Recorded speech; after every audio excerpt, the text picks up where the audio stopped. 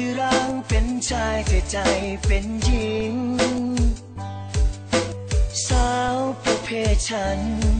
เหมือนถูกสุวรรณทอดทิ้ง ไม่มีความหมายจริงๆ โดนเขาจริงฉัน เกิดไม่ยอม